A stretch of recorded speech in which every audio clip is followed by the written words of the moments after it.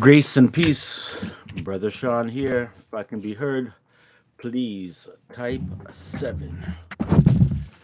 All right. Yes, I think we're all queued up. Hmm.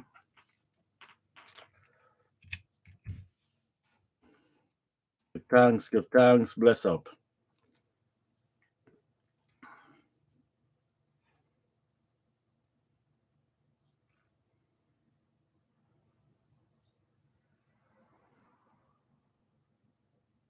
Shabbat Shalom to everyone uh, who are here in the live live stream, as it's called, the live feed.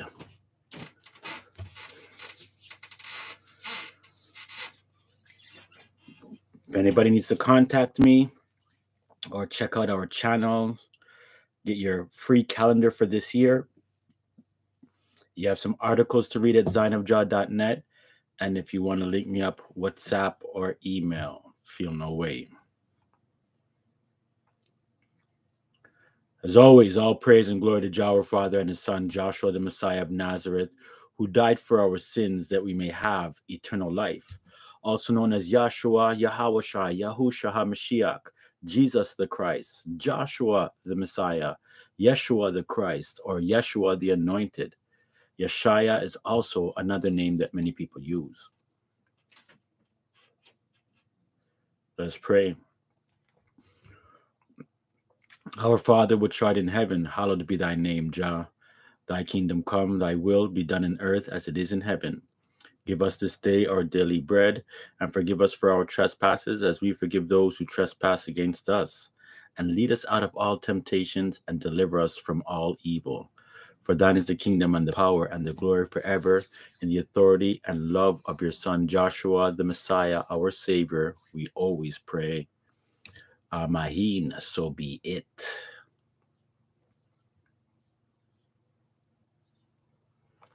Psalms 68, verse 4 from the King James Bible reads Sing unto God, sing praises to his name Extol him that rideth upon the heavens by his name Jah, and rejoice before him. So, as you know, we use the name Jah for the Father and Joshua for the Son. Many other people use Yah and whatnot. But for those people who read the King James Bible, and for those, there's many people in the world that they use the King James Bible and they, they're not worried about, let's call it the sacred name. So they'll still use Lord, God, Jesus, which is nothing wrong with that. But just good to know that Jah is in the scripture, Psalm 68, verse 4. It's in there one time, right, in terms of in the English, where we see the words of the Lord. When we look at this Psalm 68, verse 4, and we go back to even the 1536 Geneva Bible, you'll see the spelling I A H. We're looking like Ayah, Jah, or Yah. In the King James original 1611 edition, it's written in calligraphy, as you can say, see here, with J A H. Some will say this is the I A H. It's definitely not a Y. But if you also trans uh, look at the Roman 1611, where they just they fix the calligraphy, it's capital I A H, Aya, Ja, Ya. The modern King James version, like I just read, has Ja. The New King James and as well as some Hebraic versions will use Yah. And even modern English watered down versions, they take out the name altogether and they put the word the Lord. And we know the, that the term the Lord is not a name. So we see that there's a, a little bit of a controversy with the I, the J, and the Y. And we're well, well aware that many people say that there was no J in ancient Hebrew. And I mean, that's something that you know, is very, very debatable and arguable. Actually, it's not even true, to be honest. The j sound never came into existence in the 1500s. We can talk about the letter J another time and when that came in, but you'll see that just like how you see on your screen, the J was is the J replaced basically the capital I that way, and it still carried the same sound. That's another story for another time, but I just want to kind of put that out there. We don't discriminate if any of any people in the world use the names that you see on your screen right now. Shabbat Shalom again to all those coming in. So we can see that this Hebrew, Greek, and Latin is something that I get from scriptures. So let's take a read from John chapter 19, verse 19. And it reads, And Pilate wrote a title and put it on the cross.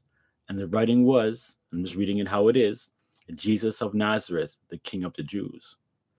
This title then read many of the Jews, for the place where Jesus or Jesus was crucified was nigh to the city, and it was written in Hebrew, Greek, and Latin. As you can see on your screen, you know, I have these letters, these characters underneath, um, you know, the term. So I believe that the, the ancient Hebrew has the J sound, not the letter J, but the J sound. Again, I'm not going to be getting into it, but the Greek also deals with the Y and the Latin deals with the I. The letter I in Latin is called Y, which really means the Greek Y. And so my understanding is that the Hebrews and the ancient Israelites were black people, and that the modern Hebrew that you see coming forth today is almost like a European type of Yiddish, modernized, watered down Hebrew. But they control all the rules because they've been controlling things for the last little while. And so you'll kind of get this, you know, idea or this notion that there was no J sound in the ancient Hebrew. Now, that might be true for the Gentile Greeks and the Gentile Romans or the Latins that way. But in my understanding, again, there's a big controversy. And you can check out one of our lessons online called My Name is Jah or Jah is God's Name, part one. And part two will be coming out later on this year. So, for those who might make a, a strife or a big to do or have contention, we don't have contention with anybody that uses, you know, a, a name that they've understood, whether it's Jah, Yah, Ayah, Yahweh, Joshua, we do understand that we can go by our studies to show that there is a J sound, but nonetheless, you know what? It's a silly division and a silly argument for those to kind of cause a great division because they're not using certain names when we're all reading well not all of us but the king james bible tends to be one of the versions that most israelite groups use. And you know i'm not going to say most everybody because the new translations that are coming out now are really really numerous let's say that way. But anything that you see on your screen, if you refer to the Most High by any of these names or even names that you don't see, again, hold no strife. Just be sure that you're keeping the commandments of the Father, you're keeping the commandments of the Messiah, and you have the testimony of the Messiah, and you have faith in him and believe in his resurrection and death and birth. These are the most important things. And as you know, the ancient Israelites, they didn't have to worry about who was an Israelite or what color they were. They didn't have to worry about what was the Most High's name and what was the true calendar but yet, having all these true things, you can see that they slipped because of disobedience. They didn't slip because they didn't know how to pronounce the name anymore or got lost, that some might say, but it's due to rebellion to the Most High's commandments, laws, and statutes of love. So keep these things so that you can stay and remain in his love and really show him that you know his name and his son's name. Today's date is the 25th day of Elul, the sixth month, for the year 6222 from creation. It's the last Sabbath of the first three month summer season. Don't get scared. It's not the six month long summer season, but the early summer, if you want to call it that, or former summer season of three months. Yes, it's coming down to a wind this week. Today's date is equivalent to the Gregorian date, July 30th, 2022 AD, on the Sabbath. When we look at our almanac, our monthly almanac and calendar for Elul, which is also equivalent to July, and this year, July, uh, Elul started on July 6th. So right here where we are now is we're on the 5th, which again is equivalent, as I said, to July 30th. And there we can see that on the study almanac, there's various scriptures that you can check for yourself to verify certain dates and time frames within the scripture. And as you can see again, this is the last Sabbath. And next month, next Sabbath, the beginning of that seven day Sabbath is the month Ethanim. It's the seventh month. It's autumn. It's the beginning of the time or season of ingathering. Now, in regards to that date that you see here, let me just go back quickly. You can see there's a Nehemiah chapter 6, 15 under 25. And there's also a Haggai 115. I won't read the Haggai right now, but the Nehemiah, we can give it a read. It reads, So the wall was finished in the 20 and fifth day of the month Elul in 50 and two days. So, I mean, there's no real great point about bringing these um, this information out here right now, per se. Um, it does have a, a, little understanding when you get into these time frames, but just letting us know that these dates of the Most High are chrono, you know, I should say they're chronicled in a certain way in the scriptures. And with Jah's Almanac, his true scriptural calendar, you'll be able to plant all of the dates uh, of the year throughout the year on every given set date. And uh, we'll be talking a lot about calendars and Ethanim next month, uh, next week, sorry, next Sabbath. Um, I guess it would be next month, anyways. But next Sabbath, and uh, get into some details about calendars and the Feast of Trumpets. This is just going to be an introduction as we prepare for this holy season coming upon us. Again, shalom to all those who have come in the room. Bless up and thank you for stopping by. So, giving some information, as you know, for us in Zion, we don't deal with the Enoch calendar or the Jubilee calendar, but the understanding of having 364 days in a common year is very true. Now, I know that after a few years, because it's 364 days, you would notice that um, if you're following it, that the seasons you'd be like, say, let's say after six six years, the seasons would be kind of moving, shifting like six days due to the equinox and the solstice that keeps ourselves governed within the seasons, which are really the middle of the seasons and not the beginning. But however, every seventh year, you're going to get an extra seven days put in there at the end of that month. Now, I've been asked before, you know, where can you get this information in scripture? And there's some things in scripture that you're not going to see, especially regarding the calendar, and has to be understood by, let's say, scriptural principles or putting a little here and a little there. And so, in terms of, uh, let's just think about the seven seals of Revelation. So, you know, within the seven seals, in that seventh seal, there's seven trumpets. And then in that seven trumpets, in the seventh trumpet, you're going to have seven vials or seven plagues. So this is a little bit of an understanding when you know about the scriptures, the 28 year cycle, and these things may may you know kind of be familiar to you or may not. They may be new. But with this understanding, you can see how seven days in the seventh year, every seventh year, we have that week. And then at the end of a 28 year cycle, we're going to have the double up week or two weeks at the end. Now I know I'm just saying this off of my head, and you want to see the you know the proof of it, but you'd have to just watch the other videos. And most of the videos, at least half, 50% to 60% on this channel, will cover that information regarding calendars greatly. And also, I want to say one last thing. Be on the lookout for my other channel coming out, The Watchman of Zion, where we're going to have a little bit of shorter videos. And those videos are going to be like, let's call them um, like trailers to the longer studies. But I'm going to compact the information in a lot shorter videos, maybe go from seven minutes to 12 minutes. And maybe sometimes it might just be a two minute video explaining certain doctrines, being concise, succinct. And of course, I won't be able to, it won't be expanded, but they'll always lead to a video that's on this channel that you can verify the information.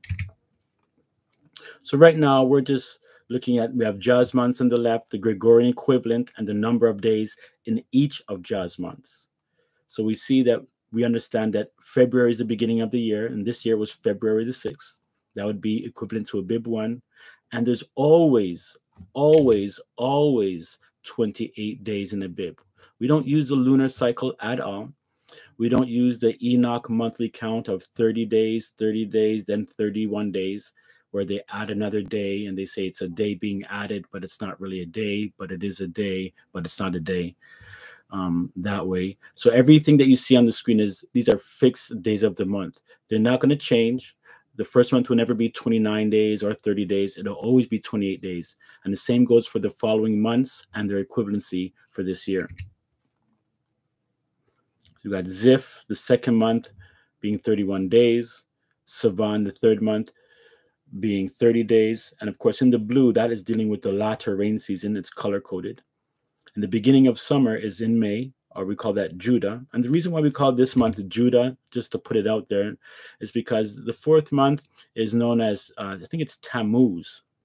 And Tammuz is, uh, is it the fifth month? I think Tammuz might be the fifth month, and the fourth month is not mentioned in scripture. So what we've done is we've um, taken out Tammuz because that's a pagan god, and we just looked at the order of the Israelite um, tribes of Israel that they were born, and Judah was the fourth born, and Dan was the fifth born. So for those two months that you can't be found in Scripture, And again, the one Tammuz is shouldn't even be there. We've just put in Judah, call it Judah and Dan. But if you don't like the names, remember everything is still on a numerical value. So you can just, if you don't want to name the months, you just have them month one, month two, so on and so forth. So this is the beginning of summer. And we are here now in Elul. Elul is a 31 day month. And the last day of Elul will be next week, the day before the Sabbath, because the seventh month, Ethanim, that you see on your screen, will always forever begin on the seventh day of the week. And we'll talk about that shortly. So we have Bul, then we have Kislu, which is October, the end of October or the end of Kislew, we start getting into winter or we call the early rain seasons. So again, you just what you're seeing here is all the days on a common year of 364 days. There's six common years, then we have a sabbatical year. Then you have six common years, then you have a sabbatical year. And this is for this year for 6222 means 6,222 years since year one or since the beginning of creation when Adam and Eve were made and Genesis chapter 1. And of course, it's equivalent to the Gregorian value of 2022 AD. So this is how the how the um, the calendar maps out in this form, in a list form. And I want to show you a couple of other ways to look at the calendar. You could look at it again, just like how you have like a wall calendar, so to speak. And you can see over in the top left, and this is a common year of 364 days. What I just explained on the last slide, you can see there's 28 days in a To go to the second month, there's 31 days. Then you go 30. And remember, all this green up here is the latter rain season. If you look at the top left, these charts explain a lot. You could call it spring, the latter rains. a is equivalent to February. In there, you have the Passover, the crucifixion of the Messiah, the resurrection of the Messiah, and the waving of the sheep, all occurring in this month. And the highlighted numbers with red um, are the holy festival times as well as the beginning of the months. And then we got to the third month, because we're going to be mentioning those today. That's Sivan. We have in there the Feast of First Fruits, or called Pentecost. It was the time of the Messiah's birth. He was born in spring, not in autumn. And it's also the time of the giving of the Holy Spirit to the 12 apostles to begin the ministry. So then we get to summer. Again, Judah, we called it number four. It's May. And these are all Jah's almanac numbers. There's no Gregorian figures on this chart at all. So every every month that you see starts on that certain day that's highlighted, like the number one, that's how it's going to be all the time. It doesn't shift, it doesn't change, the amount of days doesn't change. Jah's almanac, his scriptural almanac, is fixed and set, just like the seventh the seventh day Sabbath, and just like his holy festivals. So here we are um, we're over here in Elul. We're on the 25th, if you remember me saying. So we got another six days before we jump into Ethanim here, number seven, the beginning of autumn or ingathering. We have our festivals of trumpets, the Day of Atonement, Tabernacles, and the eighth day. And they're all highlighted here as well. And you can see which day of the week they, they begin on. Now, then we go into winter, 10, 11, 12. That's the early rains and as as it goes over again going back up to the top this is where you have the latter rains. So this is the beginning of the winter season over here in november.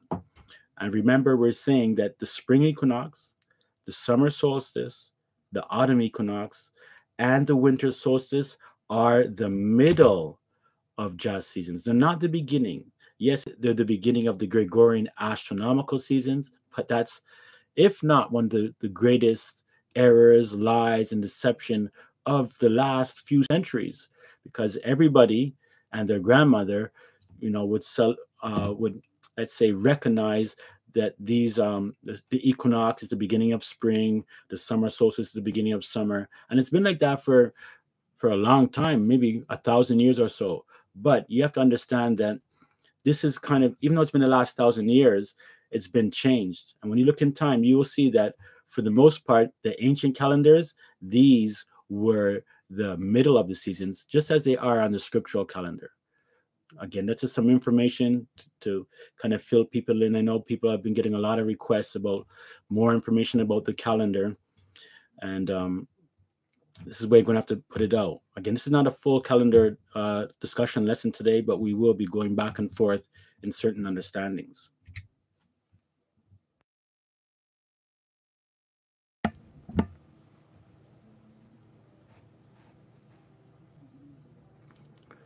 Now, first of all, I have to say is that the Revelation of Jah's Almanac is a book that was put out many years ago. It was first released in the year 2000. It was written before that. We did a, a republishing of it or a revision of it that was put out maybe about three or four years ago. And the author is David Ray. And David Ray, we considered the elder or the founder. I even say he doesn't like to be called elder. He was the founder of what we call the Zion Assembly of Jah. And he had written five books The Revelation of Jah's Almanac, The Moon in the Month, Abib, the first scriptural month, seed time, harvest, summer, and winter in the land of Israel, or Jezreel, as we would say sometimes, and Zion and Babylon. Now, I have to say, probably one of the greatest revelations in the scriptural world for the last thousand years is Jah's true scriptural calendar. I know that many people have a similar understanding to Jah's calendar. They might call it the Enoch. And I've even heard of others that utilize the sabbatical years the same way that we teach from the scriptures as well. But nonetheless, this calendar cannot be gainsaid. It has everything that you need from the beginning of time. We know when all the festivals are from the very first festival in Egypt. It's going to be in the same day of the week to way in the future. We have these understandings of chronology, of how to count years and where we are, prophetical time frames in terms of the times of the Gentiles. And when you start counting the amount of years in the book of Daniel, when you start utilizing the prophetical calendar in Revelation. And I have to say, I know that the prophetical calendar utilizes 360 day years and 30 day months. And that's true but that's a prophetical calendar used specifically for prophecy and how to count prophecy and uh, prophetical years as well. But the civil calendar that you know Israelites use to observe the festivals is not the 360 day calendar at all. It's the 364, because on the 360 day calendar, the number seven can't work out evenly anyways, and as well, it'll have all the festivals just moving all around and being shifted here. And if you think adding seven days every seven years might sound kind of weird, if the 360 day calendar was in, in uh, utilization, it's even more and more confusing. So it's again, it's a prophetical calendar. We utilize it, but it's not the same as the civil calendar. These books, if anybody wants to contact me, I put my email um, earlier on. You can email me, and for the time being, you might be able to get yourself a copy of the Revelation of Jah's calendar and the other books will be following up um, very soon. That way, we're still thinking about you know trying to just use some of these things to kind of bring in a little bit of money for the work that David had put into the into um into the work they put into these books to try to keep things self-supporting. Now, I didn't, I, I don't think I mentioned, but David Ray had passed away in the year 6219 or 2019. And um, he was complete in, in his work. He finished off his work. He's been a great mentor to me, um, a, a, great mentor to me. I've learned a lot of things, even through the hard way. And I have to say, one thing about David was very humble. He's very meek, soft spoken, and going to be one of those men that, you know, is not famous and great that way. But as you know, once Jah recognizes your work, that's all that matters. So I just want to put this information out there again. If you want a copy of the Revelation of Jah's Almanac, you got to email me, or if you got my WhatsApp, you can do it that way as well. Free of charge for now, but the other books we'll see. So we're preparing for the autumn feast and the coming of the Messiah. They're both linked. And so this is some information that we want to teach that the autumn feast, the fall feast, the ingathering feast, the end of the harvest season feast, all are synonymous, deal with the Messiah's second coming. And this is this information is kind of uh, known out there for many people who get into calendars and they like the prophetical understandings of the trumpets. But I still know that a lot of people teach that the Messiah was born in in um, autumn or the Feast of Tabernacles. When that's incorrect, he was born during lambing season in the spring season. Because all the spring festivals you'll see represent his first coming and the fall festivals represent his second coming. So with that understanding, I mean, outside of many other things, you know, should be able to point people in the direction that the Messiah was not born in autumn. So next Sabbath is the first day of Ethanim, the seventh month for the year 6222, equivalent to August 6, 2022. It's the Feast of Trumpets and the beginning of autumn, ingathering, including seed time. Yes, of course, the word autumn is not in scriptures, but the understanding of the season is. All right, let's continue. So this is for those preparing to keep, you know, the, the festivals at these times. Now I know most people and um, most groups they deal with the equinoxes and solstices. So most people will be having in September, they're going to be doing trumpets, tabernacles, and whenever the dates kind of go along to the moon, they'll do it in September. And here we are doing it in August, a month, they would say a month behind, but they're actually a month ahead. And there's a little bit of an error with this. If you um, know the story about uh, Jeroboam and his false festival of the eighth month, this understanding again, I don't want to keep sounding like I could plug my, I'm only plugging my channel, but can't explain all of that here and now, but you'll see that this this uh, Jeroboam switch to having a false feast in the eighth month was a big calendar switch. And I do believe from my studies and from what I learned from the Most High is that, you know, the calendar that's used as a lunar calendar today is actually Jeroboam's calendar, or any calendar that uses the equinoxes and solstices have been led away in, let's call it the Jeroboam era. So on your screen, you're just gonna you're gonna get the festivals for this upcoming August and putting it out there. And if you want to join us and in keeping these festivals, trumpets, atonement, tabernacles in the eighth day, feel free. And if you want to just continue to study, you can do so yourself. But I would encourage you to really research the lunar calendar because nothing should be kept in September at all. That's for the heathens and the pagans. Not saying our Israelite brothers are heathens and pagans, but the calendar that they're following is a heathenistic, astronomical, luni solar calendar. So we have the Feast of Trumpets, so we'll highlight that first. That's going to be beginning, as I said, next week from Friday, 7 p.m. Some people want to go 7:30 or uh, when the sun sets. You know, feel no way. That's your understanding. But when you deal with a 12-hour day, 7 p.m. to 7 p.m. is also scripturally good. Even if you don't see the sun fully dark, it's a good understanding about the 24 hour day and the seasons. Then 10 days later, on August 15th, which is a Sunday evening from 7 till 7, which is the second day of the week, we'll have the Day of Atonement. Now, that's no work, no food or water, a strictly a fast of 24 hour day uh, for a 24 hour day. Then we have the week of tabernacles plus the eighth day, and that begins August 21st, going to August 28th, a Sunday to Sunday.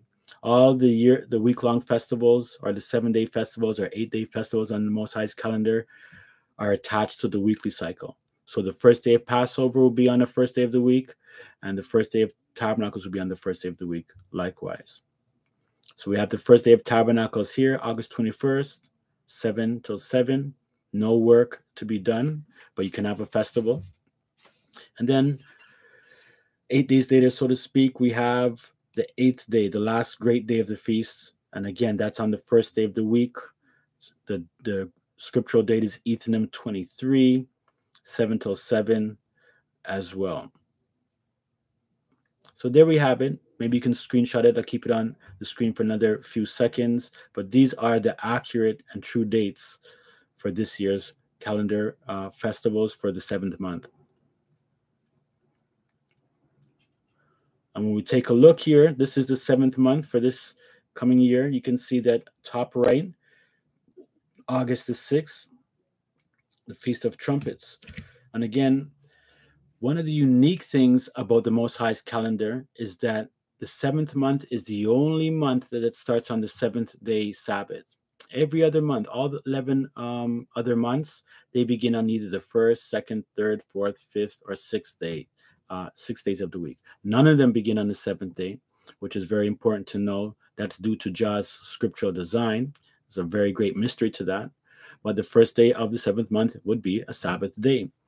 And just like the first day of every scriptural year will always be on the first day of the week. It's not going to be in the middle of the week like the Enoch calendar. It's not going to be shifting, wandering around like the lunar solar calendar as well. It's fixed, perfect. It keeps in line with the seasons. Nothing goes out of whack. The festivals are true, they're there. And the seasons are actually very accurate. For those in Toronto, I don't know if you've been noticing already, we're getting a little shift of the seasons. The breeze is coming in watch those kind of clouds that are like looking like they're flat, like they're hovering on something. Listen for the sound of the cicada uh, insect with the loud electricity sound. That. Get ready for the winds to pick up. Your evenings might be a little bit cooler. Now, don't get me wrong, you're still going to get hot days and hot times, but on a general aspect, starting from now, you start to see certain things shifting over. And even some birds that are not normally here for the first three months of summer, they're going to be coming through as well as some butterflies and whatnot. So these are things that I've noticed over the years being in Toronto that it's been accurate all the time. So again, we're looking here, we can see the Day of Atonement.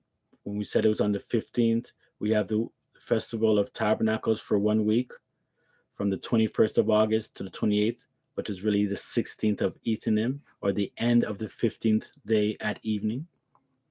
And here we have it, all the holy festivals for this upcoming month. Again, screenshot it if you want. You could actually go to truetalks.ca. That's truetalks.ca. I'll put it in the chat. And you can get this year's calendar. I think I still got it up there.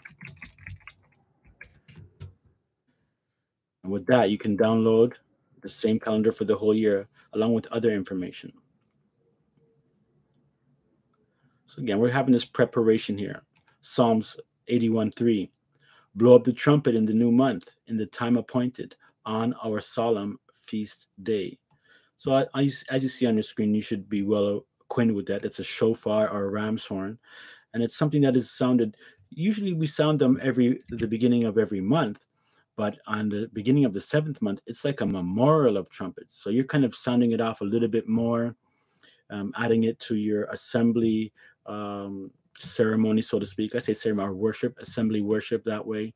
But it's a time, again, as a memorial, looking back at this festival as well as looking forward to its prophetic fulfillments. Shalom again to everybody coming in the room. Now, it's important to know that the feasts of Jah are his prophetic plans of the salvation of, of the salvation through his son. Now, we wouldn't be talking about a calendar, and a calendar wouldn't mean anything if it wasn't to meet with the Most High on his festivals.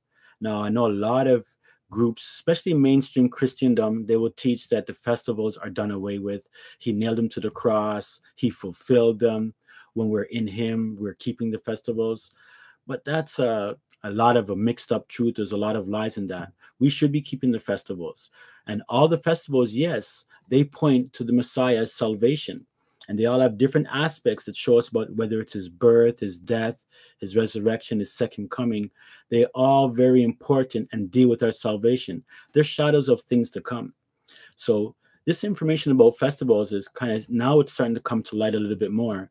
But when you talk to people that might be in Christianity that way, they're gonna like, oh, you know, we don't need to do those things. Yet they'll keep Christmas, they'll keep Easter, and all these pagan things that are not in the scriptures. And then the scriptural feast, they don't want to keep them. I just say that you know, if you if you're still on the fence, do a little bit more research, pray, and you'll come to a good understanding. The Father will lead you the right way. He's not going to lead people away from not keeping the festivals. That I can assure you. He's leading people by His Spirit to obey Him to meet with him at his appointed times and his son. And these things are still in play. The Messiah kept the festivals, the apostles kept the festivals. We read Paul kept kept the festivals, Pentecost, the Day of Atonement. Right? These things are all in the New Covenant writings. And a lot of people say, well, why doesn't it mention how to keep them or anything like that? Well, because it's in the Old Testament. And people say, well, that's old covenant things. There's the Old Testament writings, and then there's the Old Covenant right? The covenant is old, but not the laws and statutes and the moral uprightness that we're supposed to live by. We're in the new covenant now. So, being in the new covenant, we don't sacrifice animals. On the festivals, we don't sacrifice a lamb. or any of those things, or when we sin, we don't bring forth a turtle dove or anything. We know that forgiveness of sins is in the Messiah. And he came to take away that sacrificial law. Because, I mean, what could animal, the blood of animals and goats do for us? It can't really clear sin, but it was symbolic of what the Messiah would do for us. And how could one man, how could his blood, you know, cover for, you know, millions and billions of people's sins if they accept him? Well, because mm-hmm. he's more important than all of us, right? He is the creator of the universe, right? By the powers of his father. So his life is more valuable. Like if you to do a trade, Jah, you know, sent his son to die for our sins. But the devil probably thought if he can kill the, the Messiah, then for sure, you know, he can probably be rule this universe forever.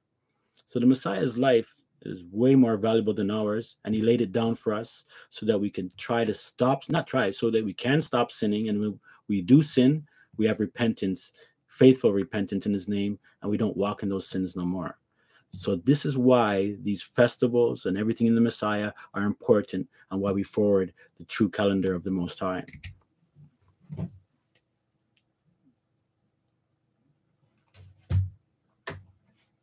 Now, from the beginning, from the Exodus, the Most High was calling his people, you know, to, to keep a feast unto him. Exodus chapter 5, it reads, And afterward Moses and Aaron went in and told Pharaoh, Thus saith Jael of Israel, Let my people go, that they may hold a feast unto me in the wilderness. Exodus 10 8. And Moses and Aaron were brought again unto Pharaoh, and he said unto them, Go serve Jael, but who are they that shall go? And Moses said, We will go with our young, and with our old, and with our sons, and with our daughters, with our flocks, and with our herds, we will go. For we must hold a feast unto Jah. See, even when Jah comes back, Joshua the Messiah comes back, right? The Father's in him. When he comes back, we're going to have a feast, right? It's going to be a marriage feast at that time, but also the festivals are going to be kept in the 1,000 year reign. It says that in Zechariah that people will be able to come to Jerusalem to keep these festivals once again. And the whole world would be invited for those who accept the Messiah.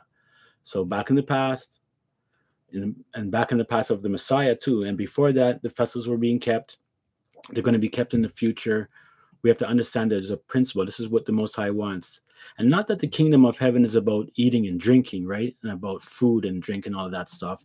No, but you know, it's dealing with family, right? You you eat and drink with those who are close to you. And Jah's a family, and he's made us a part of his family, and he wants to feast with us, just like how he feasted with the 70 elders on the mountain with Moses and Aaron. This is something that is intimate with us and the Father. So it's important for those who are on the fence. Don't let nobody kick away your feet and say you don't have to keep the festivals. Learn about them, study them, as much videos as you can get under your belt. I know it might be confusing, but take your time. And of course, read the scriptures to prove all things. Shabbat Shalom. Again, family coming in. Now, the kingdom of Jah and the feast of Jah have great relation. Second Esdras from the book of uh, the Apocrypha. It says, Be ready to the reward of the kingdom, for the everlasting light shall shine upon you evermore. Flee the shadow of this world. Receive the joyfulness of your glory. I testify my Savior openly. Oh, receive the gift that is given you, and be glad, giving thanks unto him that hath led you to the heavenly kingdom. Arise up and stand. Behold, the number of those that be sealed in the feast of Jah, which are departed from the shadow of this of the world, and have received glorious garments of Jah. So again, another verse kind of showing us a prophetic fulfillment. When we keep these festivals, it's a part of our faith. And I mean, if somebody doesn't know about these festivals or know about the Sabbath day, you know, they have they're, they're growing in their faith. They might have a little bit here at a lower level, but as you move in life and the Most High guides you, you increase in faith and you add more understanding to your faith because a lot of people just say hey, if you believe and be baptized you're going to be saved and that's true in the big you know uh, context of things that way but then there's smaller things you have to do in there if you believe that means you'd be obedient because you believe that you should be walking in righteousness the 10 commandments the holy words of the most high and i know sometimes the word law messes up people's mind because you have to really figure out which law we're talking about because there's quite a diff- few different laws. But usually when Paul is talking about the law. It's talking about the moral, upright law that we, you know, that will that will that we will be judged upon, that which is good and evil.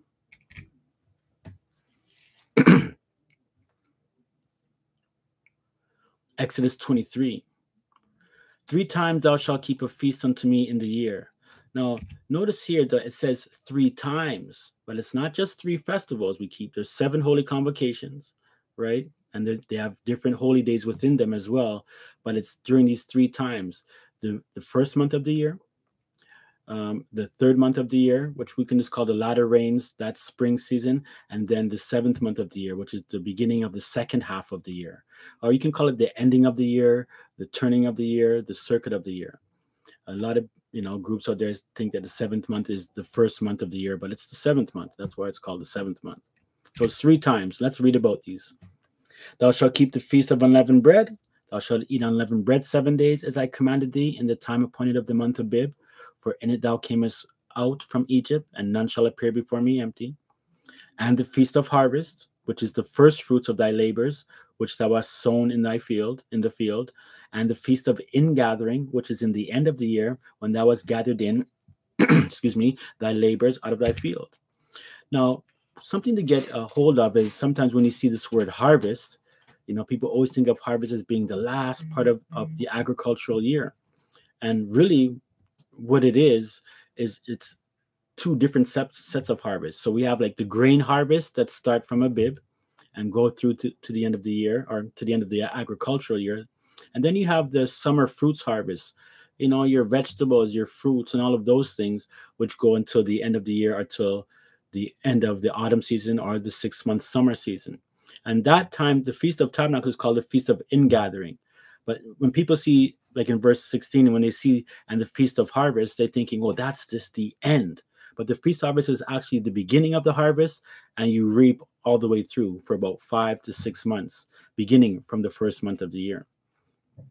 And notice it says also the end of the year as well. So it's not like some people might think, hey, in the last month of the year, the very end of the year, this is when the festival is occurring. But it's in the seventh month. And so just look at the year as in two halves. You have the first half, from month one to month six. And then you have the ending half or the last part of the year from month seven to month 12. And this is why it says here the end of the year, the turn of the year. It could even mean the middle of the year that way, when thou gathered in thy labors. So when everything is brought in, and that begins in August, and this lasts for three months. So these seasons are attached to festivals, but they again three month periods. Exodus 34. The feast of unleavened bread shalt thou keep seven days. Thou shalt eat unleavened bread, as I commanded thee in the time of the month of Abib.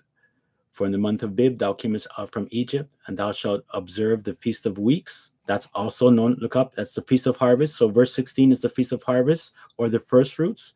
That's as well the feast of weeks. Notice what it says: the feast of weeks of the first fruits of wheat harvest. And verse 16 up top again, the feast of harvest, the first fruits of thy labor that you sown. Continuing, and the feast of gathering at the year's end. Three times or thrice in the year shall your man child appear before Jael, the El of Israel. So again, you see a, like a little bit of here, there, a little there. It's the beginning of wheat harvest, the Feast of Weeks, which starts, I mean, harvest starts in Abib, which is equivalent to February, the end of February, and it goes right through to the end of the year. It's wheat harvest, Feast of Weeks, first fruits, all the same thing. Now, at that time, of course, it says that your men shall appear before Jah all the time. And it didn't mean that women couldn't go, but usually there would be issues for women, like if they are on their menstrual cycle, or if they were, let's say, pregnant or some issue of, of that nature, you would have a representative. Make sure you have a man, it could be the husband, it could be the father, grandfather, that would appear to make this journey. Because this is a this was a journey at that time. They were in the land, yes, and they could all locally go if you were in Jerusalem. But you'd also have to travel far because it meant like Israel, the land of Canaan, is it's not like you can just walk around, right? It's it's quite extensive. So they would have to journey and take some time, a few weeks, to actually go down there, buggy and cart that way. So the men would be responsible in that sense. But now for all the festivals, and it always was, women can partake of those things. Again, you know, there might be certain issues when it comes to a menstrual cycle. I know people might say, What are you talking about? Um, we just got to learn to put difference between clean and unclean.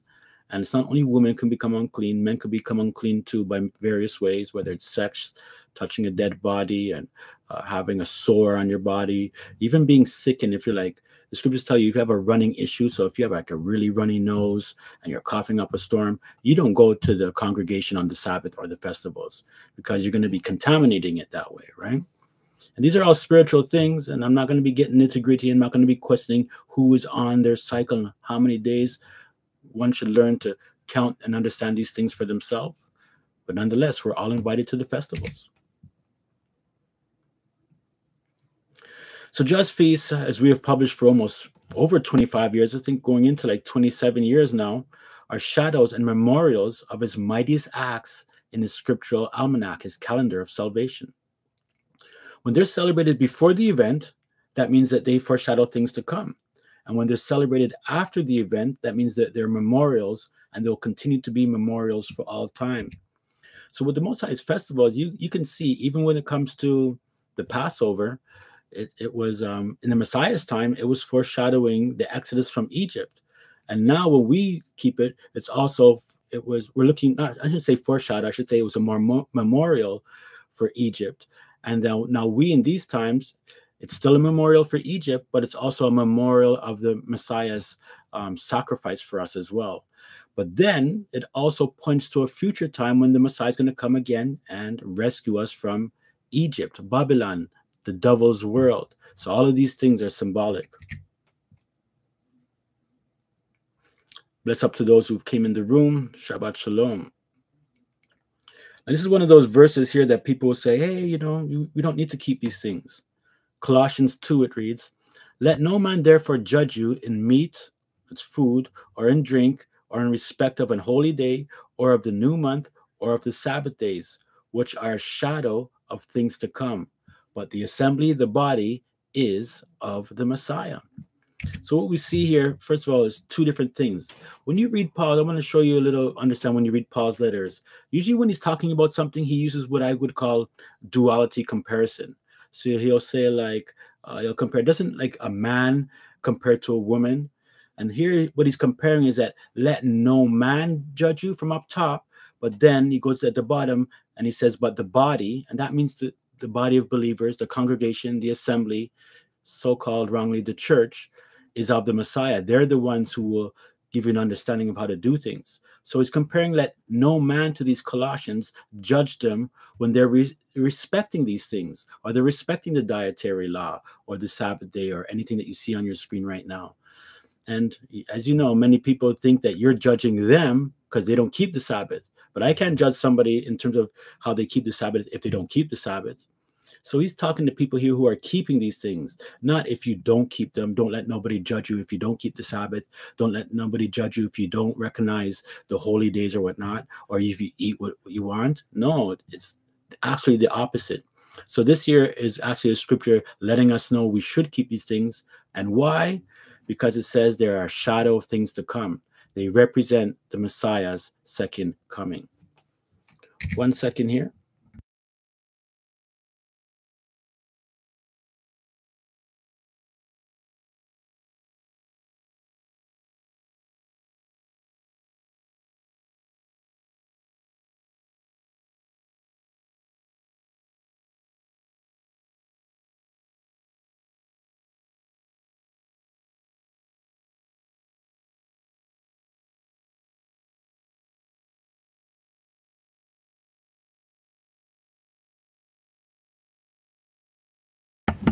Thank you. All right, let's continue. So let's take a look at the seven holy convocations and kind of give a, a, basic, basic introductory breakdown of these seven holy convocations. Now, you know, seven is the most highest number of wisdom. It's it's great when it comes to calendars. It's great when it comes to prophecy and fulfillments of the things that the Messiah has done for us.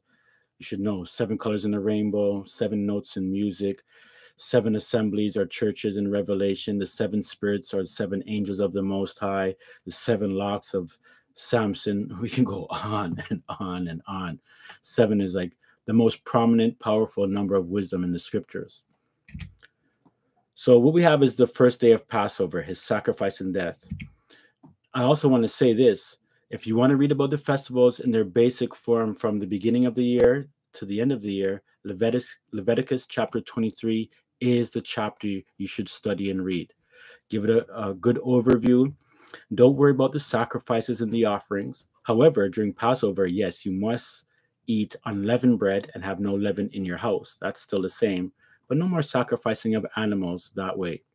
So the first day of Passover represents the Messiah's death. It's quite popularly known that he was killed on that first day of Passover. And then we have the seventh day of Passover, which is also a holy day that represents his ascension. It's also tied to the waving of the sheaf, which is the day after that Passover. Now, the waving of the sheaf isn't a holy day, so to speak, but it's a part of the Passover festival in terms of counting to the Feast of First Fruits. Might sound like a mouthful there, but we'll leave it for now. Then we have Pentecost first fruits, or remember when we just read the Feast of Weeks, right? So that represents, we believe he was born during the, the Feast of Passover, uh, Feast of Pentecost, or first fruits. People say, well, no one really knows. Well, I think the scriptures know, and the scriptures actually have a lot of evidence to prove so. It was the day that the Holy Spirit, as I said before, was given to the apostles. It was also the day that the Ten Commandments, more than likely, were spoken. Now, when I say more than likely, I know I sound like I'm unsure a little bit because I think it actually could have been a couple of days in there, around there. But the way I see it in Scripture, yes, I just don't want to kind of say something and be wrong and strong. However, though, for my studies have led to that greatly. So the spring feast represent his first coming, right? All that's above. And the fall feast represent his second coming, all that you're going to see below. So the Day of Trumpets, what we're going to be celebrating next Sabbath, represents the seven trumpets before his coming. So when the Messiah, before the Messiah comes to earth, there's going to be seven seals.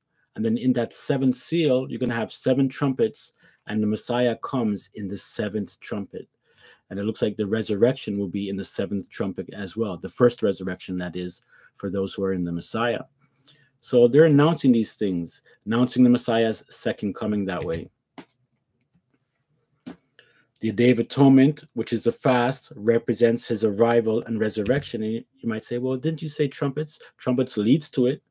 But if you know anything about the Day of Atonement, that's the day that the only one day that the high priest can go into the Holy of Holies. And it was the only one day where the Most High would appear like in a cloud of smoke above the Ark of the Covenant, above the mercy seat that way. And it's in a cloud. And as well, the symbolism is here is that when the Messiah comes back again to the earth to atone and bring us back, you know, to the resurrection, be at one with him, he's going to come with clouds as well. And there's a great similarity. So be sure to check out all the festivals as we get to them in the seventh month in August. Tune in because we'll be getting into the great details and showing all the scriptural proofs to, you know, increase your faith in the Messiah. These are not old done away with uh, observances. Then we have the first day of tabernacles, representing that 1,000 reign on the on the earth with the Messiah when he comes to tabernacle with us and be with us. And then you have the eighth day of tabernacles, which represents the new creation, a new beginning. The number eight here represents like a new week and a new beginning. So it's ending one thing and then going into an, uh, a new beginning. And that means, you know, if you understand how you know Jah has his creation that way, the place is going to be burnt up in the end. There's going to be a judgment, burnt up, and then a new heavens and a new earth. This is going to everything you see before you is going to be destroyed. It's not going to be refixed or polished up or just sin removed. It's going to be annihilated completely, and then a new heavens and a new earth is going to be created by the Most High, and we'll be there to see that and will dwell there with him forevermore and go on into the next cycles of, of time and eternity forever and ever. So, this is a good understanding here. You can share with people that the Messiah is in every single festival. I mean, it's always about him, anyways. So, we have these spiritual preparations for the fall feast. The holy days are fulfilled in the Messiah.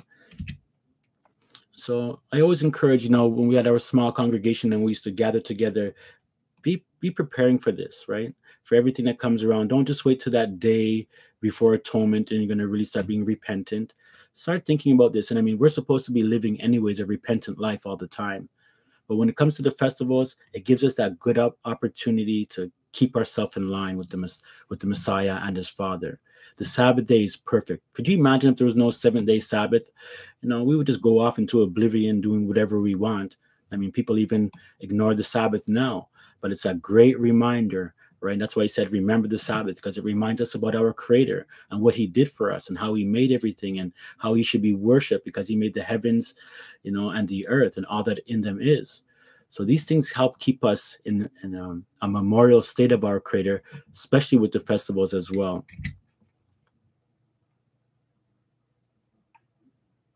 Matthew 13. Then Joshua sent the multitude away and went into the house, and his disciples came unto him, saying, Declare unto us the parable of the tares of the field. He answered and said unto them, He that sows the good seed is the Son of Man, which is himself. The field is the world. The good seed are the children of the kingdom, but the tares are the children of the wicked one. So we see here that there's good children for the father, and then there's evil children for the devil. And this is how it goes there's vessels of honor and vessels of destruction. And this can kind of cause a, a problem for some of us, you know. Are you predestined to be a vessel of destruction or, you know, a vessel of honor? And something that we don't really initially know, but we know that the work has been done for us is we have to start believing and having faith and, you know, bringing forth the, these good deeds to show our faith, right? But to be honest, you potentially or I potentially could be a child of the wicked one or a child of the most high. It depends upon us that way. Now, ultimately, it does, you know, judge the one who predetermines everything. But you know, that's his prerogative. And he just tells us what to do and we try to follow suit. But do know that there's children of the devil, human beings that hate Jah, hate the scripture, hate him, might even use the scripture, and they're of like the devil. The devil cannot stand the fight. He hates him. He he tried to kill him already. He killed his son, right? And lo and behold, what happened? Yahshua conquered death and took away the strength of the devil because the devil, his power was in death. That's where he was able to kind of have his strength. But now we've conquered death through the Messiah. And so he has no more power over us at all. Praise his holy name.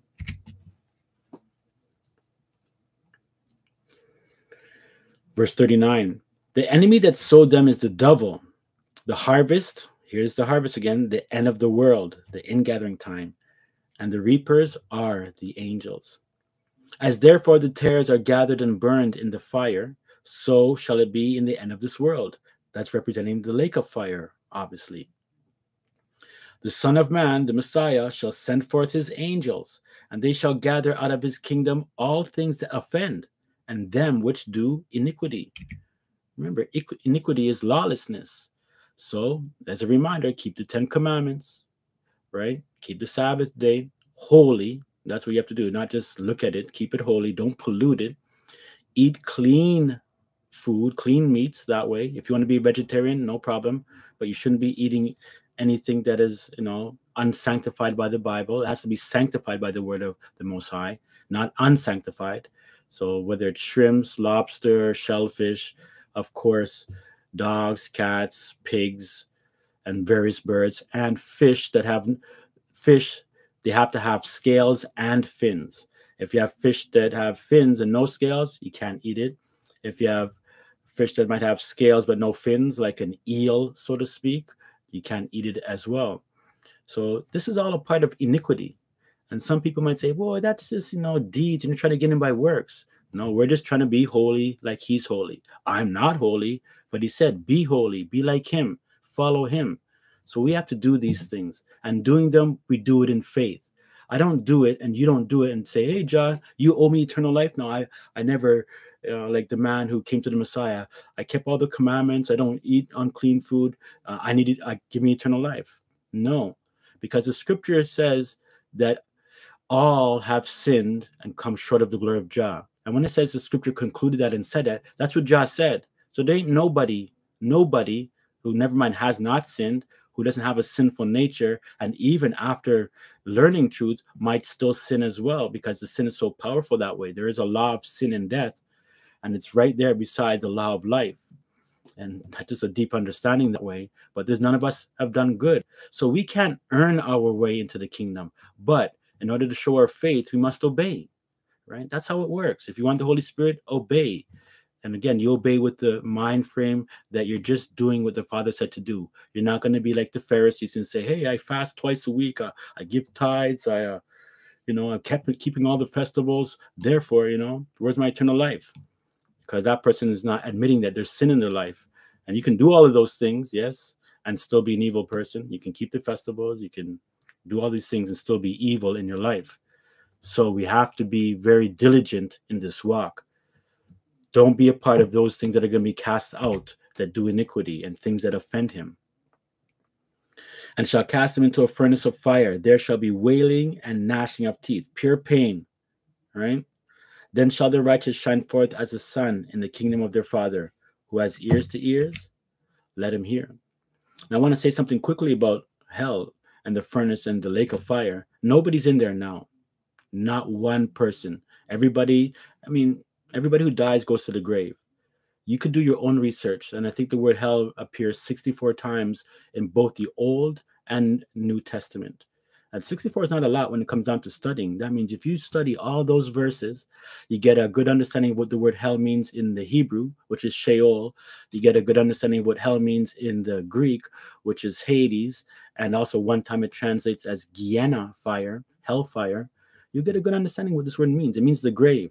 It's not a literal place where people are right now being burnt up and the devil's down there poking them and they're weeping and gnashing of teeth is going on right now. That's coming in the future. Everybody right now, excuse me, righteous or unrighteous are in the grave dead. Their body might have even deteriorated. The bones might have turned to dust because we go back to dust. We're from the earth. And so you go back to it. You don't go to heaven. You don't go to hell or anything like that. There's no immortal soul. The soul that sins shall die. So I just had to put that out there because I know still there's a lot of teachers putting things about hell and yes, if you die you don't, you know, you disrespect the Messiah, you will go into hellfire in the future. But right away when you die, you don't go there because you know you're, you're dead, right? Otherwise, death won't mean death. That means I'm not dead. I'm somewhere else alive. I went to a, a, congregation today, a nice little small congregation of brothers and sisters, and taught a good lesson. But you know, simply put, you know, when you're dead, he taught as well. You're, you know, you're dead. And he was talking about a conversation he had with somebody and about Whitney Houston when she died, and that person was like, "Oh, you know, Whitney's in a better place now, away from all the drugs and this and that." And it's like, "What do you mean she's in a better place? Is she dead or is she in another place? Which one is it?" And it kind of gave her, you know, he stuck her that way. But that's really what it's about. When you're dead, you're dead. So as we look at trumpets, which is coming up in seven days after today, again, it starts August the 6th. It's next week from Friday evening to Saturday evening. 7 till 7 is the 24 hour period that we understand things. And even though the sun might be up a little bit because it's late in this season, you know, in the wintertime, sometimes the sun sets at 4:30. And so, you know, we just use the six hour clock. It would normally be six till six because when you see in the scriptures, 6 p.m. is the time of evening, and you can see the scriptural clock in scriptures. It's just that with these guys and their cheesy daylight savings times or double satanic time, they just mess up this hour. But otherwise, it would normally be from 6 till 6. And I will say this during this season right now, for the last few months in Jerusalem, and that's what I usually watch, the sun is setting at 7:30. 737, 7, it was at 738 one time, it's going down and whatnot. But 7:30 is when the sun sets in Jerusalem. That might not mean anything to anybody, um, but that'll actually be 6:30 proper time. And then sometimes it sets before six o'clock in Jerusalem.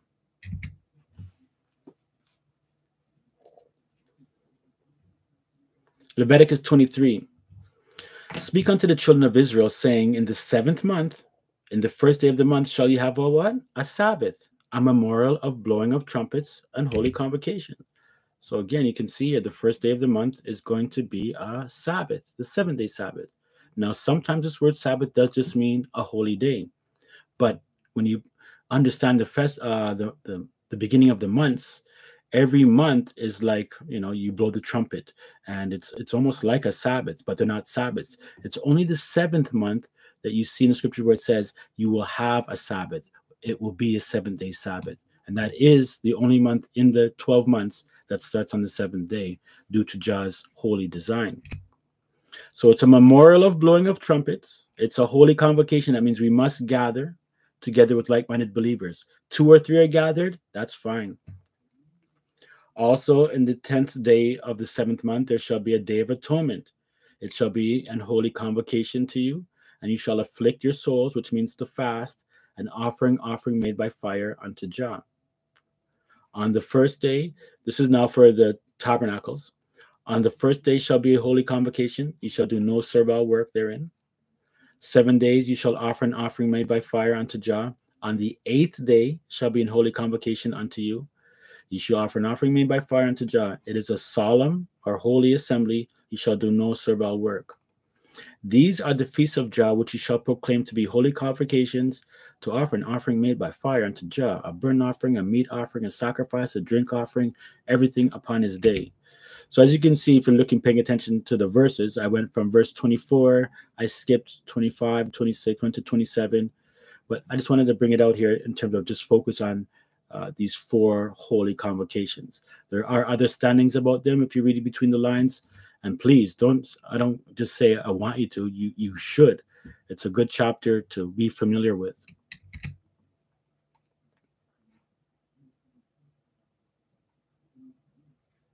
Now, the Feast of Trumpets, occurring as it does on the first day of the seventh month, Ethanim, has still yet to be fulfilled. And to my knowledge, nothing of great spiritual significance, which could be taken as a fulfillment of this feast, has ever occurred in our modern day. I believe it still awaits future fulfillment. I want you to bear in mind that all of Jah's feasts, again, as we said, are shadows of things to come. Isaiah 27 12. And it shall come to pass in that day that Jah shall beat off from the channel of the river unto the stream of Egypt, and ye shall be gathered one by one, O ye children of Israel.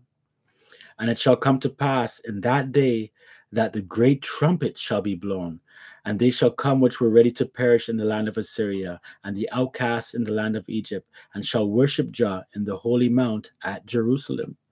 So we see that there's a great trump, trumpet to be to be blown here, right?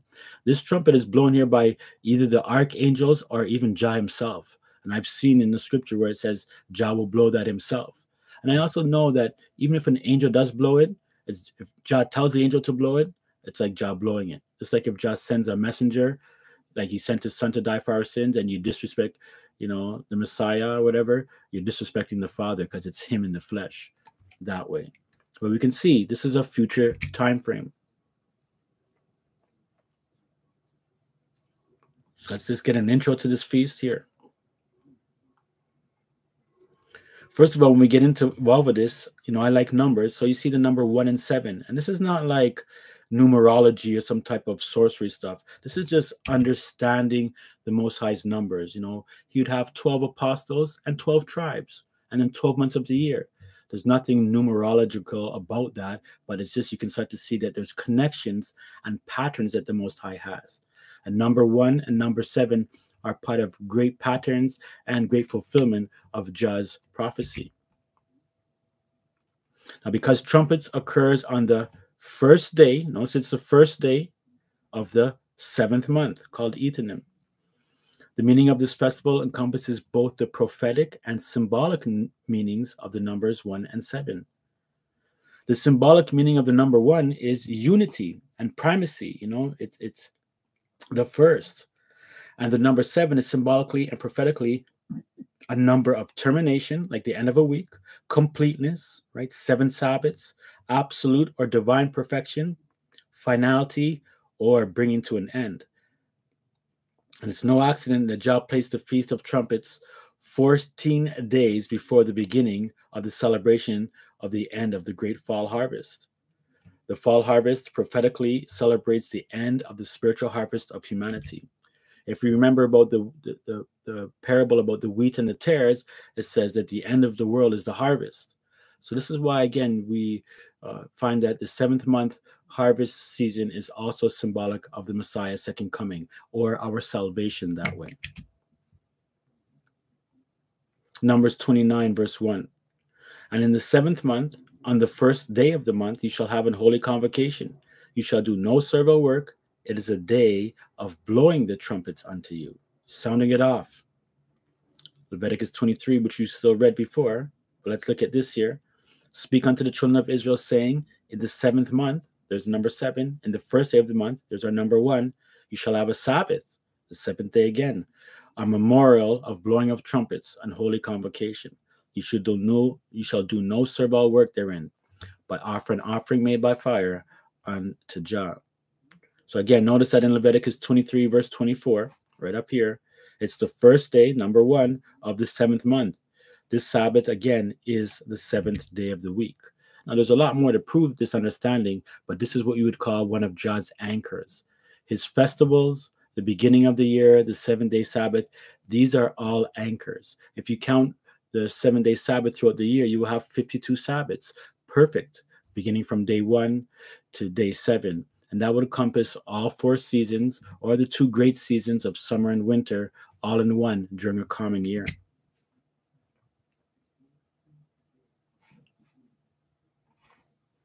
So again, we're just looking at this, you know, the month that we talk about. So you notice at the top right, the first day of the month, it says you shall have a Sabbath, a memorial of trumpets. Here it is. It's a Sabbath, and it's the first day of the month. Then when you count 10 days later, you got trumpets. When you count to the end of the 15th day here, you have the beginning of tabernacles. So from day one to right here, you can see is two weeks.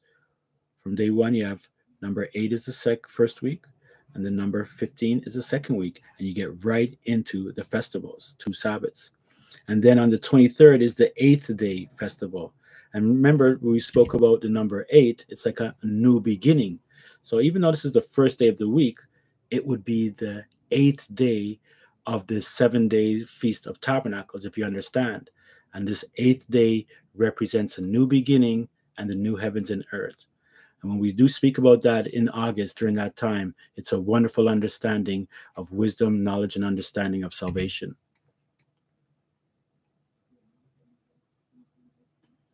So we're going to look at the Day of Atonement. When the Day of Atonement does come up, it is August 15th, Sunday night, Sunday evening to Monday evening. It's considered the second day of the week. So let's look at it again. Understanding the seventh day Sabbath ends Saturday night so that's seven days over. And then Saturday night begins that first day of the weekly cycle. And then Sunday night is the end of that first day. And then that's when you begin to keep the feast of, hmm. well, shouldn't call it a feast, but it's called a festival. But, anyways, the Day of Atonement, where we fast no food, no water for 24 hours. So says our scripture. And that's the second day of the week.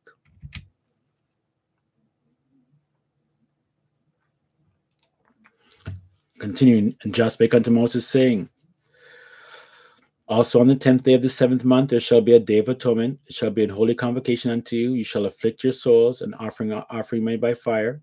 You shall do no work in that same day, for it is a day of atonement to make an atonement for you before Jah your El.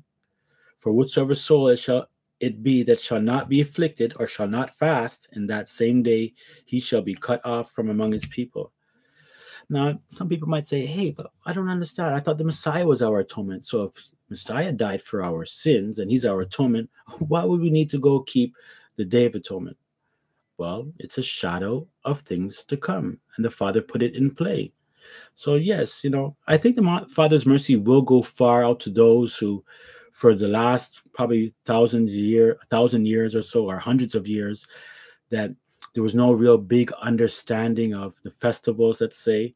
But again, the way the scriptures look is that people were keeping these things. You just don't see them on the front page that way. But he will have mercy on who will have mercy upon. And I pray that he has mercy upon those who might not known of these things, but would have kept them if they would have known. And that's, I think, what the Father does with all of us. He he reveals things to us when he knows that we're going to try to walk in that obedience. But he's not going to reveal things to us if he knows that you know we don't care about it we won't walk in it or do it or fulfill it in any which way And I think this is what he does look at in our minds. He looks at our motivation and why we want to do things. Your motivation is should only be to please him. That's why we were created. That's why the universe has been made to for God's pleasure, to please him. And those that don't please him will offend him. And you know that lake of fire thing is is set up for the end for us. So we have to keep this day. It says you shall be cut off, right? That way, because it's a part of the atonement for Israel. Joel chapter 2, 15. Blow the trumpet in Zion, sanctify a fast, call a solemn assembly, which is the Day of Atonement. Ezra 8. Then I proclaimed a fast there at the river of ha- Hava, Ahava, that we might afflict ourselves before our El, to seek of him a right way for us, and for our little ones, and for all our substance. I just brought these verses out here again, just to show the atonement, having a fast and for your life too fasting is really good. If you can fast if you want to ask the most high for um, in prayer for something that you know a request right? A spiritual request. Maybe you want to overcome a certain thing in your life. Maybe you want a, a more understanding or you want more strength to walk in his ways. There could be so many different things that you want from him spiritually. You don't fast and pray for money and all of that stuff obviously because the devil might give it to you and you might think it's Jah. Jah wants you to pray for spiritual things, right? And fasting is good. But this fasting here for the Day of Atonement is something that all believers should do. And again, you could join us on August the 15th, Sunday evening till Monday evening is a part of the fast. May the Most High strengthen you.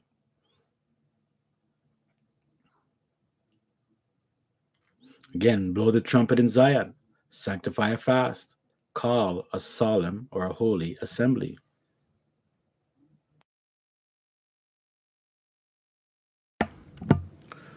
Now, as we look at tabernacles very quickly, again, this is the week of tabernacles and the eighth day.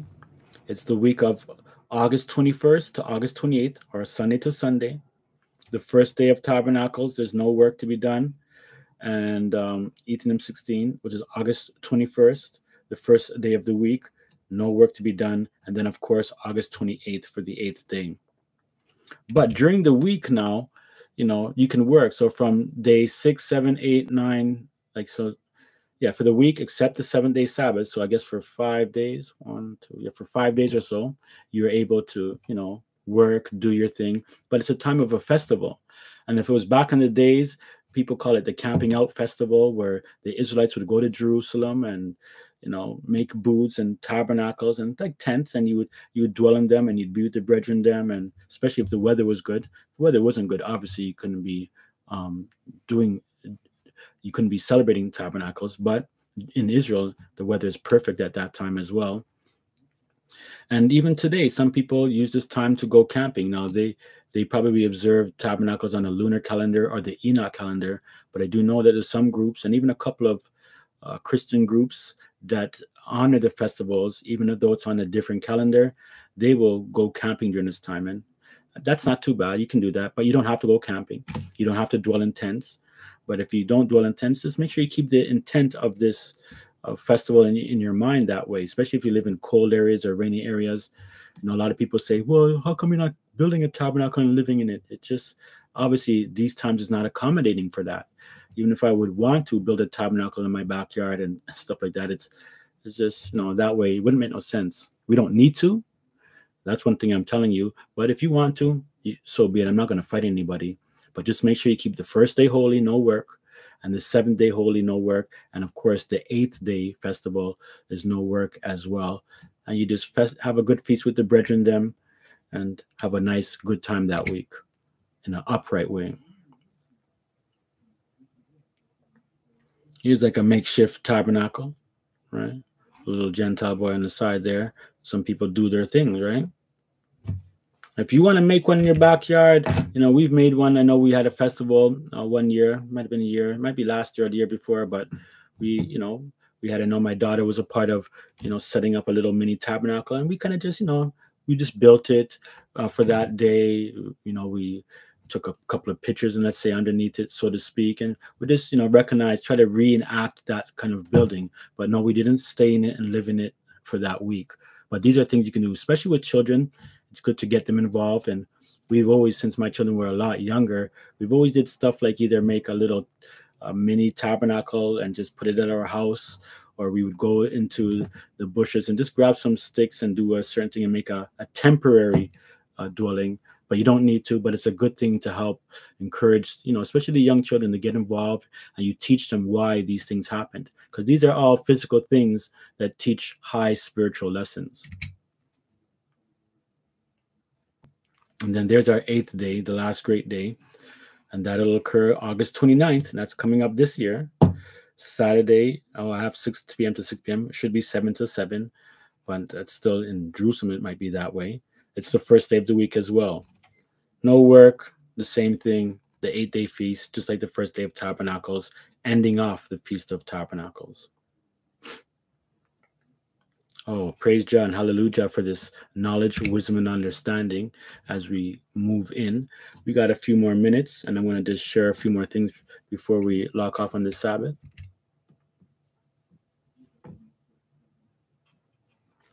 What's the trumpet message? This is the trumpet message for everyone. Isaiah 58. Cry aloud, spare not, lift up your voice like a trumpet, and show my people their transgressions, and the house of Jacob their sins. Where are we going to blow the trumpet? Jeremiah 51 says, Set up a standard in the land, blow the trumpet among the nations. So, this is what it's about showing our people our sins. We need to get back to the Most High. We need to repent. We need to keep the seven day Sabbath. We need to eat only clean meats. We need to stop doing all the fun partying and all of that stuff that we're doing that we used to do. Excuse me. That is so challenging and tempting as you, especially if you grew up in these things, the temptations are going to always be around you. They don't go away. You got to learn how to control your eyes, your desires, the pride of life you know and these are the things probably you might want to be praying and fasting for because it's challenging and i know that men and women know this you know who are mature in the faith they can say it's so challenging to walk every day to govern your eyes to govern your tongue to speak the right things to not have hatred in your heart you know and just to even not almost be too focused on the world and trying to get get get. It's it's a challenge. And so these are part of we want to show other people about their transgressions and have them walk in this narrow path, keep the commandments, statutes, keep the faith. And we have to do it with everybody, whether they're black or white, Israelites or Gentiles, so to speak, or Ethiopian and Gentiles, so to speak. It doesn't matter. The word Ethiopian is also synonymous for a black person when you look at it properly in historical and scriptural context. But nonetheless, all are invited you know, to come to this wedding feast of the Messiah. You just have to make sure you have your wedding garment, which is you believe in the Messiah's sacrifice. You ain't getting in on your own righteousness. You don't have no righteousness. Your righteousness is filthy rags. So you trust in him. And do you believe that he was perfect? Never sinned, never even thought it, never looked at a person with lust or a woman or anything like that, never hated anybody, you know. And if he got angry, which he did, it was righteous anger, it wasn't unholy anger. He overturned the money tables in his father's temple. They were turning it into like a, a marketplace and a den of thieves. He was angry when they were so stubborn that, you know, he asked them, is it lawful to do good on the Sabbath or not? And they couldn't even answer him. And he was angry at their, their stubbornness, but he never sinned. And this is something to think about. Can you imagine not ever sinning and try, try not sinning, having any evil thoughts? Uh, I would say a week, but I even push you to a day or two you'd be surprised, you know, when we start to see going and things come at your life. It's nothing, you know, any normal human can do. So we have to praise the Most High for sending His Son. We have to give honor to Yahshua the same way we give honor to the, the Father. You can pray to Yahshua, to the Messiah. You can ask for forgiveness in His name. You can ask, when you pray to the Father, you ask for everything based on His authority and your trust and your faith in Him. So this is what we got to do, and we got to do it now. Time is clicking.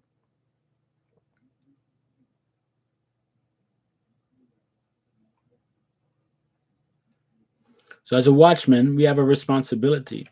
You know, you have a responsibility too. You're a watchman over your own life, but there's certain people out there that might be watchmen for John for different things. And you know what a watchman did? Just like this guy, he he set upon the highest part of the town, usually near usually near the town wall. The cities or the city, I should say, the cities were you know built around with great walls. Like you couldn't climb up these things. You can't put ladders. These are thick walls, fortified. But there'd be like a tower there on the wall as well, where this the man can look all the way over and see if there's anybody sneaking up. And he was trained in this area. He'd have to do it at nighttime. He'd have to have listening, all kind of thing, because his duty was to protect the city of Jerusalem or whatever city it might be and protect the people. So we have a we have a responsibility. So do you. Again, you don't have to be teaching online like me, but when you're sharing things with other people, you're a watchman. Are you your brother or your sister's keeper? That's the question. And I hope the answer is you recognize that it might be yes. Don't think it might not be. And I'm not trying to say hug up with people who hate you and stuff like that, but you know, says when people don't like you, you put coal, you heap coals of you put coals of fire on their head. But remember, when you're putting the coals of fire on their head, too, I just want to say this: it's not that you're burning them up. Like if they're wicked to you, and you're like, "Oh, I'll just be nice to them and kind," and and then I'm just heaping this coal so they can burn up. It's really a metaphor to say that the coals are something that is, gives heat, and it's going to burn their conscience. So when you're dealing with somebody who you know don't like you and treat you bad and everything, and then you continually treat them like almost like nothing going on, you treat them with respect. You even go an extra mile for them, so to speak, to be courteous and respectful in your eyes. It's going to start burn their conscience, and they're going to notice what, how they're feeling about you and treating you is really wicked. And if that person is really wicked and has no conscience to Jah, then you know, make the coal of fire burn them up too, same way, right?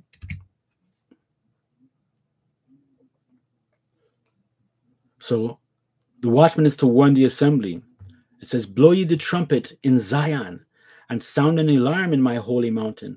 Let all the inhabitants of the land tremble, for the day of Jah's coming, for it is nigh at hand. You got to be fearing Jah right now. Be terrified of Jah. Work out your salvation with fear and trembling. Don't worry about the devil. Even though you can't fight him and deal with him, he don't have power over your life.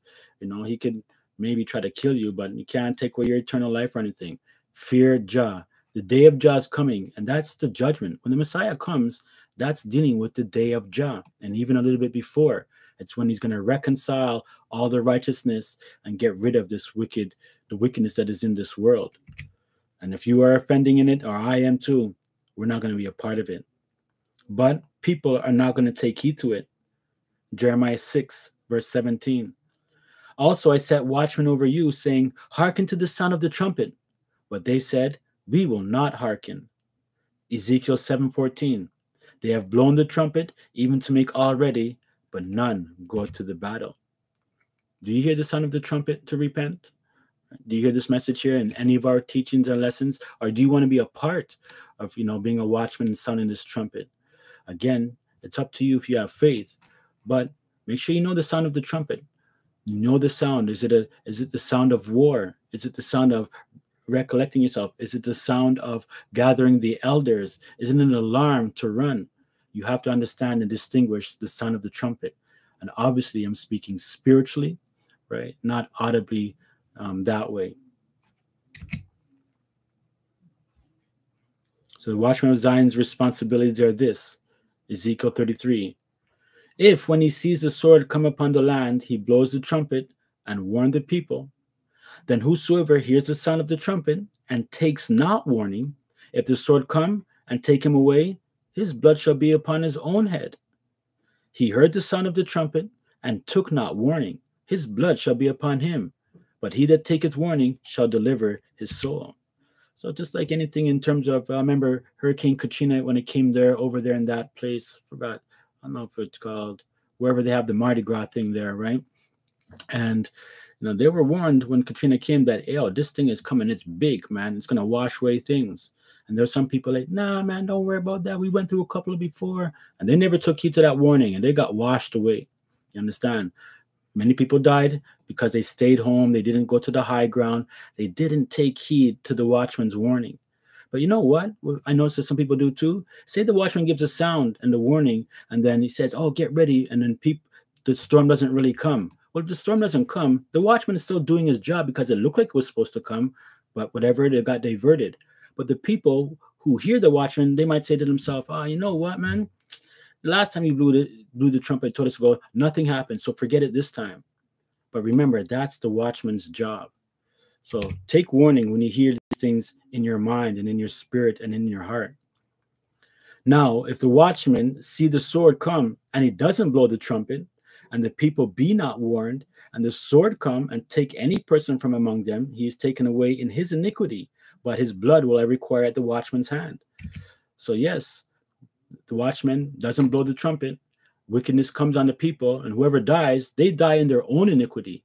But also the watchman is going to get some blame for it big time as well because he still didn't warn the wicked person of what was to come even though the wicked person probably was scheduled to die anyways. But again the job is to warn people so remember as we finish off here we preachers are trumpets First corinthians 14 for if the trumpet give an uncertain sound who shall prepare himself to the battle so likewise you except you utter by the tongue words easy to be understood, how shall it be known what is spoken? For you shall speak into the air. Jeremiah 4. My bowels, my bowels, I am pained at my very heart. My heart, my mind maketh a noise in me. I cannot hold my peace, because thou hast heard, O my soul, the sound of the trumpet, the alarm of war. So again, it's good that when we do teach, we use words that can be easily understood. Not like going to like a church and hear people speaking so-called tongues and nobody don't understand a word what's going on here. But that's another story. But the thing is, again, when we're bringing speaking to people, we don't want to just try to. And I've been through the stages trying to show them how much scripture knowledge you have, and you might have a lot. And I mean, there's nothing wrong with that. But when your motivation is just to show off and be boasty with it, and it's not really there to uplift the person, to bring person closer to truth, to guide them to maybe repent, then your motivation is a little bit off and you got to get back on track again. Always remember, you know, why just giving you knowledge, wisdom, and understanding. It's to help others, to pull them out of the fire, and of course, to keep yourself out of the fire as well. Here's the last, I think this, let me see this. I think this is my last um slide here. Let me just make sure. Yeah, my last two slides here family. So we're talking about this great and dreadful day of Jah, dealing with the trumpet, Zephaniah 1.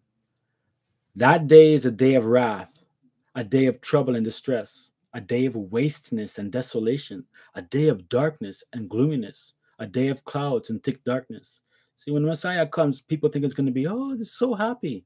This is a description of what's going to happen a day of the trumpet an alarm against the fenced cities and against the high towers.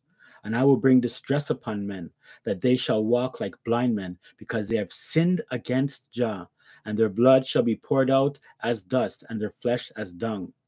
Neither their silver nor their gold shall be able to deliver them in the day of Jah's wrath, but the whole land shall be devoured by the fire of his jealousy, for he shall make even a speedy riddance of all them that dwell in the land. That's right. It's a dark day, a day of the trumpet.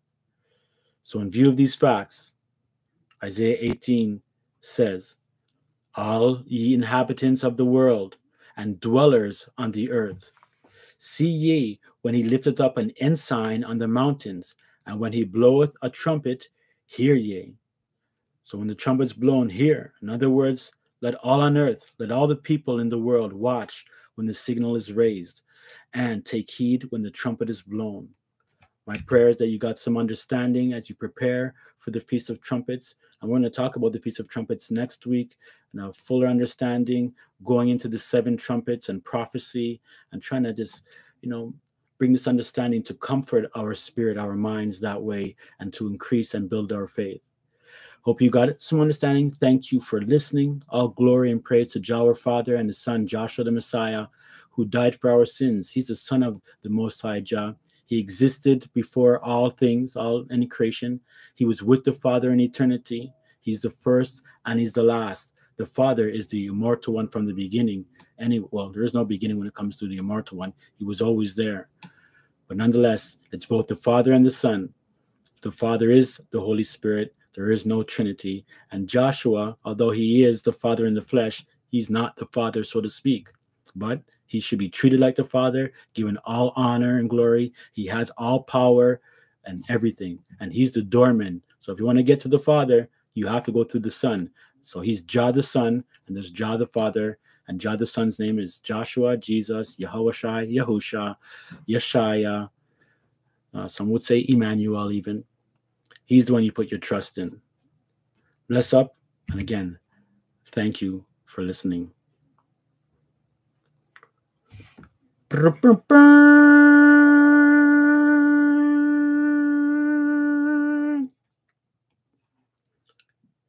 look in the room here. Shalom to everybody. Phil Chavez. Lorraine Chavez be healed of memory loss, hearing loss, high blood pressure, all body aches and pain be restored to excellent health from head to, to toe now in Yahshua's name. So be it. My prayer, brother, if that's a prayer request for a family member, I will say this right now. Let's pray. I pray, Heavenly Father, if this is in sincerity and truth, that you hear the prayer of Phil Chavez. And if they are believers in you, and if they're not believers in you, open up their understanding and call them. And I pray, Heavenly Father, that you hear the prayer of the brother and you just guide him and hear his prayers that he may, you may heal this woman here, and her name is Lorraine. You may heal Lorraine, but most importantly, forgive her for her sins and give her a sound mind. If it is your will, Jah, let it be done. I pray through the glory name of your Son, Yahshua the Savior, in faith and in truth. So be it. All right, family. All right. Yes. Again, thank you for listening. Uh, don't feel no way to even even when you have uh, if you can put some comments in, not in just the chat here, but in the comment section. That helps a lot. Share this link out there. Uh, contact me if you need anything. I'm available for all those. And if those want to visit me, you know where I'm at too, making those moves. Praise Jah. So I'll just wait. And then we shall shut it down.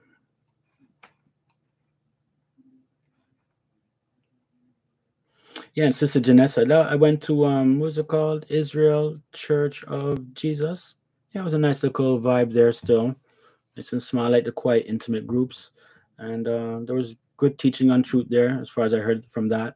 And I know that they keep a different calendar, but not bad, you know. It was peaceful. And um, hopefully, you know, we'll be sharing with each other that way. Um, us and them. I gave them some handouts and let them know who we are. And may the Most High do his work, right? And add.